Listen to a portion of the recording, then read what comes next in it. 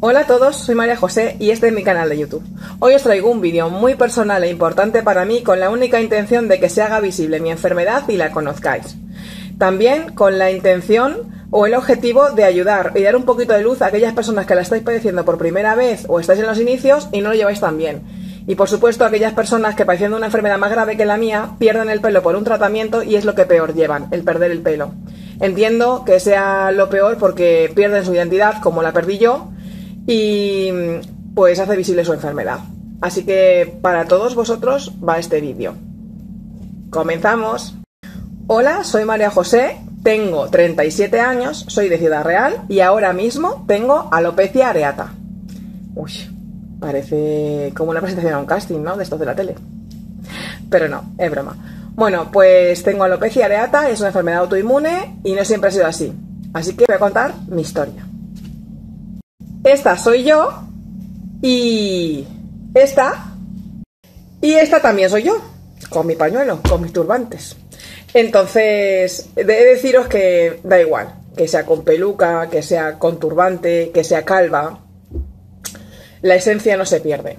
Cuando las personas eh, aprendamos a mirar el interior de la gente en vez del exterior y las apariencias, creceremos como persona. Y eso lo digo como consejo porque yo no pongo requisitos para tener amistades, ni a mis amigos. Yo no digo, mis amigas tienen que ser rubias, altas, delgadas, tal, tal, tal, tal. No. Si luego dentro de, conocer las personas son mis amigas, pues eh, no pongo requisitos ninguno, ¿vale? Entonces hay que mirar más al interior de las personas, ser más empáticos, entender más a la gente, no juzgar tanto, pero bueno, eso son cosas que yo he aprendido gracias a esto. Bueno, pues eh, mi enfermedad empezó en 1992 93, yo tenía 12 años, estaba en séptimo de EGB porque yo soy de la EGB, señores. y, bueno, pues recuerdo mm, que le dije a mi hermana, tenía ese día el pelo súper suave y así muy... Ay, me encantaba la sensación y me sigue encantando de otra manera la sensación de peinarme, ¿no? Y le dije a mi hermana, peíname. Me estuvo peinando y de repente mi hermana pues me dio una calva. Una calva, no recuerdo el tamaño, pero sí que sería prácticamente o así o un poquito más mayor aquí en la coronilla, tipo fraile, monje, ¿no? Pues, pues yo claro no me la notaba, yo me peinaba, me hacía mis coletas, pero yo no me lo notaba. Y bueno, pues a raíz de ahí, pues me asusté, mis padres empezaron a llamar a, un médico de la familia que conocemos, eh, empecé el protocolo de centro salud, médico de cabecera, dermatólogo, a consultas privadas, a la pública, y viendo que no había solución, la única cosa que me decían era de estrés, pues mis padres decidieron pues, buscar un médico en Madrid, en busca de una solución. Entonces fuimos a Madrid, recuerdo que era el inicio del curso, eh, yo no lo conté a nadie, o sea, no lo conté a nadie hasta que ya no fue súper evidente, ¿no? Porque me daba vergüenza y porque no, con 11, 12 años no entiendes eh, qué es lo que te está pasando, no es el típico constipado que te manda una medicación y se te cura y, es de estrés y tú dices, pero yo no tengo estrés. O sea, vamos a ver, que el único estrés que yo podía tener era saltar el potro en gimnasia, en educación física. Mm, o sea, no sé qué estrés tenía yo, porque yo hacía mis tareas, mis estudios, yo no me ponía nerviosa ni siquiera en los exámenes, entonces no lo entendía. Eh, fueron muchas, bueno, falté bastante tiempo a la escuela porque me iba a Madrid, probé el AVE, mm, cuidado, probé el AVE Estrenamos el AVE mi familia y yo, cuando íbamos al médico Madrid, fue un viaje un poco agridulce, pero algo bueno, algo positivo había que haber de aquello, ¿no? Entonces, pues bueno, pues estrenamos el AVE. es maravilloso, llega enseguida. y, bueno, pues en el colegio yo no lo conté, ya no recuerdo si mis padres les comentaron algo a los maestros. Eh, hasta que ya un día, pues, el pelo se me iba cayendo, las almohadas llenas de pelos, eh, la ducha, pero pelos de en plan de manojos de pelos. Mm. La verdad es que me convertí en una niña introvertida, con baja autoestima, como metida en un caparazón, y esa es la parte que, peor recuerdo, porque ahora soy madre y, no, y es de otra manera, la verdad. Entonces, bueno, pues yo me llevaba un espejito al colegio y cuando me tenía que tapar alguna calvita, pues me la pintaba con un lapicero negro de los ojos y, ese era mi afán, y llegar a mi casa lo antes posible. He de decir que tuve mucha más comprensión y apoyo por parte de mis compañeros, a pesar de la edad, ¿no? Y, no tuve comprensión ninguna por parte de mis maestros. Se puede, puedo salvar a uno, que no se metía ni ni en una cosa ni en la otra. Pensando que, bueno, pues los maestros algunos eran padres, eran madres y no sé, pensaba que, que ellos pues podían, entre comillas, no protegerme, pero darme un apoyo, eh, pues en base al problema que yo tenía. Pero bueno, de todo se aprende. Esta es la frase de, de este vídeo y creo que de, este verano 2018. Entonces, bueno, pues, pues nada, acabé el colegio con tratamientos, lo pasé francamente mal porque ya os digo, pues lo típico, ¿no? Mis padres me compraron una peluca horrible, por cierto, horrible. Pero bueno, y ya, os pondré fotos. Si encuentro las fotos en casa de mis padres, yo ya, ya os pondré las fotos para que veáis que era horrible realmente. Pero bueno, yo tenía 12 años y ¿qué iba a hacer? Pues lo que mis padres me decían, ¿no? Los que mis padres decidían. Bueno, pues. Pues ya acabamos, bueno, fueron tratamientos, lo típico del niño que te tira del pelo, para ver si te cae la peluca, que te empuja, que no sé cuántos, que en fin. Eh, me considero una persona fuerte, porque aunque tenía 12 años, pero lo, llevaba bastante bien. Muy estaba metida en mi introversión, eh, era muy, muy introvertida y como se dijo, me volví una persona muy tímida. Vamos, de esas personas que van por la calle así, mirando al suelo. O sea, moneda que había por el suelo, moneda que me encontraba yo. Porque todo el mundo iba ahí, yo iba siempre mirando al suelo. Otra cosa positiva, ¿veis? siempre le pongo un toque de humor, los que me conocen ya lo sabéis, siempre le toco un le pongo un, toque de humor a, cosas que son un poco serias o que quizá me, me afectan o... Bueno, pues me afectan porque realmente estoy contando una cosa que yo he vivido, una historia mía personal que tenía olvidada porque ahora lo llevo bien y lo acepto, pero pero lo pasé mal. Y ahora que he tenido que hacer el vídeo y me he decidido hacer el vídeo, pues a hacer un poquito el guion, para contar las cosas, para que, se, para que explicarlo bien y que entendieran la gente lo que es la enfermedad de la alopecia areata. Pues eso, entonces, bueno, pues hice tratamientos y consiguió salirme el pelo, me salió el pelo. Así que con 14 años empecé a estudiar FP, porque en ese año podías hacer la ESO y podías hacer FP.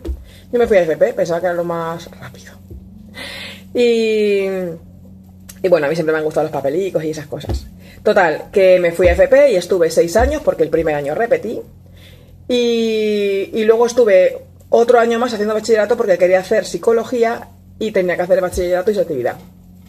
Que por cierto, en selectividad tampoco me puse nerviosa, como del estrés que te cuentan, ¿sabes? Cada uno se lo toma eh, pues como es, ¿no? Yo no me lo tomaba tan estresante ni nada, me llevaba mi música, me relajaba y chimpún. Entonces estuve los seis años, siete años en el colegio como si nada me hubiera pasado yo llegué con el pelo corto, pues bueno, como la chica que se corta el pelo en verano para estar fresquita, pues igual. Y bueno, pues cuando terminé selectividad, hice, empecé creo que estaba en primero de psicología, el primer año que estudié psicología, o el segundo, no lo recuerdo. Volvió la alopecia areata mi vida. Venga, vamos amiga, que te echaba de menos. Así que otra vez me dio un bajonazo. Las cosas por segunda, por primera vez duelen, pero por segunda duelen mucho más.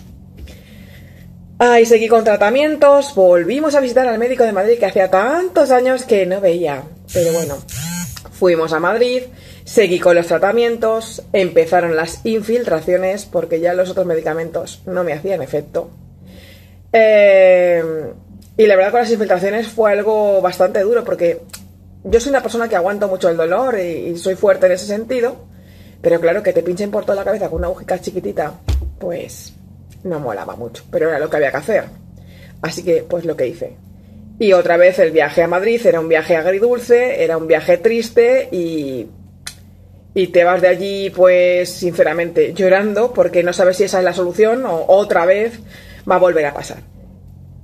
Lo que pasaba con esto es que cuando tenía el tratamiento eh, me crecía el pelo. Pero cuando el tratamiento terminaba, el pelo se, se acababa cayendo. Entonces no era un tratamiento eficaz. Yo eso lo veía, pero bueno, como había que intentarlo, pues venga, pues lo intentábamos. Eh, por suerte, con 25 años, ya conocía a mi novio, ya tenía novio, tenía pareja, que actualmente es mi marido. Lo conocí con 23 años, para que veáis que la alopecia No, el amor no entiende de alopecias. O sea, cuando una persona te quiere, te quiere si eres calvo, calva, grande, alto, bajo, gorda, delgada, mm, etcétera, etcétera. Así que encontré a, mi pareja, a mi novio. Eh, por, suerte, él se fijó más en el interior, me conoció más el interior que el exterior. Pero cuando conoció mi exterior no me puso ninguna pega. Yo lo dije abiertamente, tengo alopecia areata, soy calva, vamos. Eh, porque oye, si no me quieres seguir conociendo, pues no me conozcas. Chimpún, se acabó y a otra cosa mariposa. Porque, a ver, ¿por qué hice esto? Pues porque he sufrido mucho rechazo. Rechazo cuando tienes tratamientos, cuando tomas corticoides, cuando sales a la calle con un pañuelo o con una peluca horrorosa que te compran tus padres. porque creen que es la mejor. Por suerte ya pasado 25 años y las pelucas cambian. Pero ves como personas cercanas, amigos, se van de tu lado cuando te pasa un problema, y dices, bueno, señal de que tú no eras mi amigo, porque si no, no tuviese de mi lado. ¿Vale? Eh, personas de la familia, no de mi círculo cercano, pero familiares de alrededor, ¿cómo se cruzaban de cera? O sea, no tengo nada para pegarte. No tengo ninguna enfermedad contagiosa. Tengo alopecia, ¿vale? Areata. Quiere decir, soy calva, ¿vale? Tengo pelos por algún lado de la cabeza, pero no por todos te, das, te vuelves muy observadora y lo pasas mal, ¿sabes? Porque dices, ¿por qué? Yo no entendía que una persona, a lo mejor tuviera 40 años, reaccionara de esa manera. Yo pensaba, fijaros, que la gente, mm, a medida que iba creciendo, iba aprendiendo de esas cosas, de no hacer de lado a los demás, de no tener detalles feos. Yo que soy muy detallista, pero bueno. Pues sí, hay de todo en esta vida. Y a lo mejor hay gente que tiene 40 años y aparenta que tiene 12 por su comportamiento. Y una que tiene 12 y aparece que tiene más por lo que ha vivido o por X circunstancias. Bueno, pues lo pasé mal, pero eh, encontré a mi pareja, me apoyó, fuimos a Madrid a buscar una solución. Me mandaron a... Bueno, encontramos un médico en Ciudad Real, perdón, que es mi ciudad donde yo vivo, eh, y me dijo que yo, madre mía, yo no me acuerdo de su nombre de verdad, pero le doy tanto, tanto, tanto las gracias. En ese momento, por cierto, perdonar que haga un inciso, pasé de alopecia areata a alopecia universal. La alopecia areata, ya sabéis que son las calvitas que aparecen generalmente en la cabeza o en la barba de los señores, en los hombres. Y, y, la alopecia universal es una forma extensa de la alopecia areata. O sea, significa que perdí pelo, perdí cejas, perdí pestañas, perdí, bueno, las asilas, en fin, pues imaginaros mm, los pelos que hay, los vellos que hay en el cuerpo. Y, voilà, una curiosidad. Todos los pelos de nuestro cuerpo tienen una función. Pero, ¿alguien se ha parado a pensar en los pelos de la nariz? Bueno, pues los perdí, los perdí. Y los eché tanto de menos. O sea, es como, Dios, echo de menos a mis pelillos de la nariz. a los cuales nunca jamás le di importancia, como a otras tantas cosas de mi cuerpo que no le di importancia, ni cejas, ni pestañas, ni nada, nunca. O sea, yo cuando tuve mi pelo, lo único que hice fue cortármelo, ni teñírmelo, ni nada de nada.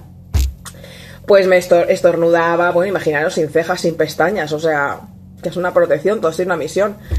Estornudaba, me lagrimeaban los ojos un montón, bueno, no sé si se lagrimeaban, pero bueno, que, que tenía muchas lágrimas en los ojos constantemente, en fin. Ahí decidí tatuarme las cejas, me hice mi micropigmentación eh, aquí en Ciudad Real que por cierto estoy encantada. Y bueno, el doctor este me dijo, cuando tienes alopecia universal y se te caen las cejas y las pestañas, significa que nunca más vas a volver a tener pelo. Ni en la cabeza, ni en las cejas, ni en las pestañas, ni en la nariz, ni en ningún lado. Vale, pues bueno, tengo cejas, tengo pestañas y me crecieron mis cejas y mis pestañas. De, bueno, eh, voy a contar por pasos porque me voy a liar un poco, si no. Eh, cuando tenía alopecia universal, pues yo me casé. O sea, bueno, me fui a vivir a Barcelona y después de venir de Barcelona decidí ponerme la peluca. Estaba preparada para ponerme una peluca y con la única intención en aquel momento de pasar desapercibida. O sea, era verte la gente por la calle y mirarte con una cara de lástima y pena en plan, tiene cáncer y se va a morir. De hecho, me lo preguntan, me lo preguntaron algunas veces. Y yo, mire usted, señora, mm, morirme me voy a morir alguna vez, porque evidentemente inmortal no voy a ser. Cáncer soy, porque nací el 22 de julio, así que cáncer soy. Y lo que me depare la vida de enfermedades no lo sé.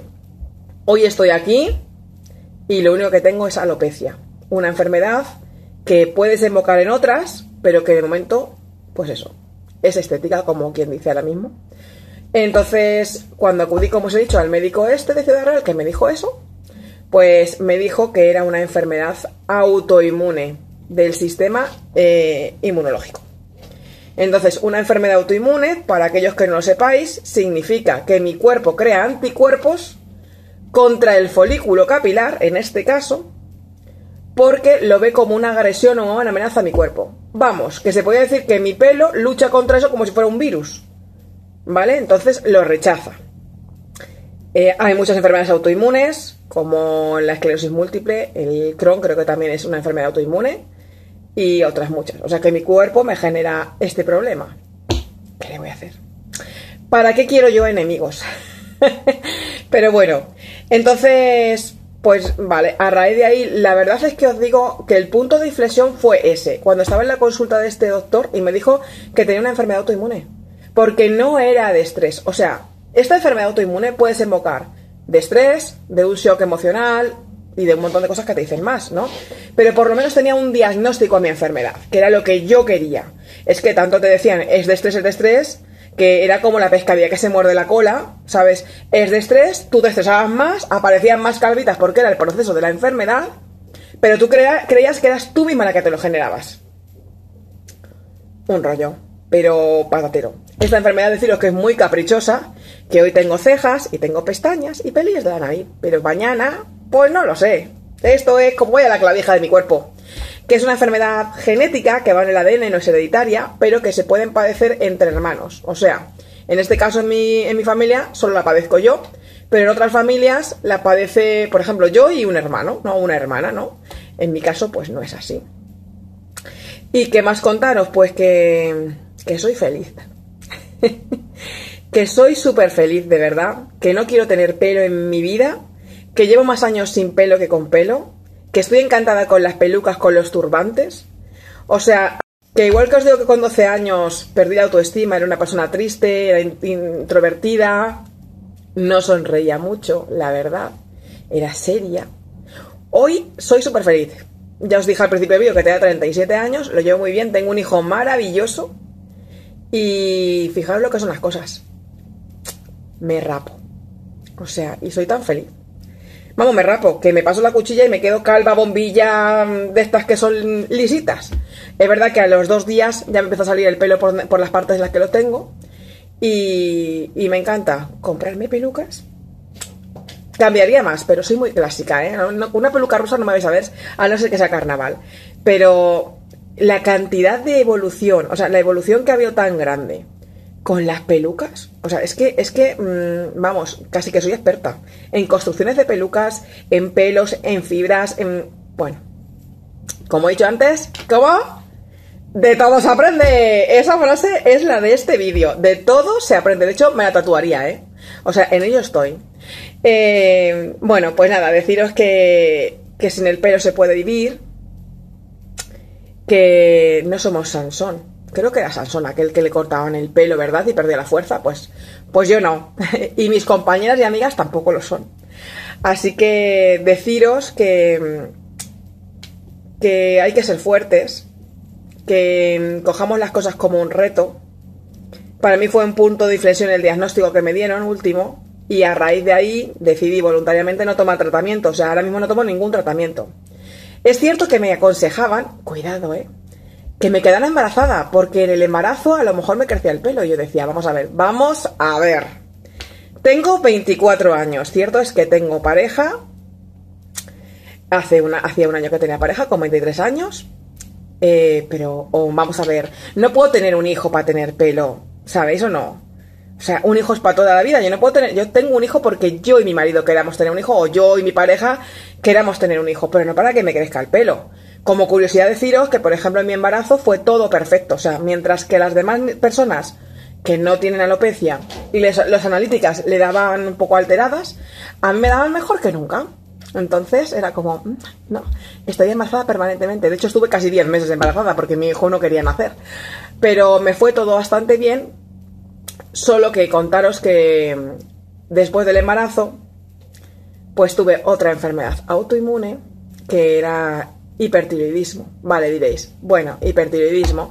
Te dan la pastilla del yodo mm, y chimpún serafín te conviertes en, en, y tienes hipotiroidismo y sería una pastilla de por vida. Sí, pero es que tuve riesgo de infarto cerebral. O sea, me tuve que tomar ocho pastillas para el corazón y para, bueno, pues para todo lo que pasé. Lo pasé francamente mal. O sea, era como, no sé, me pasa algo y no tengo hijo y es, bueno, pues chimpún, se acabó mi vida, ¿no? Pero cuando tienes un hijo tan chiquitito dices, me voy a perder de estar con él. Entonces la cosa cambia.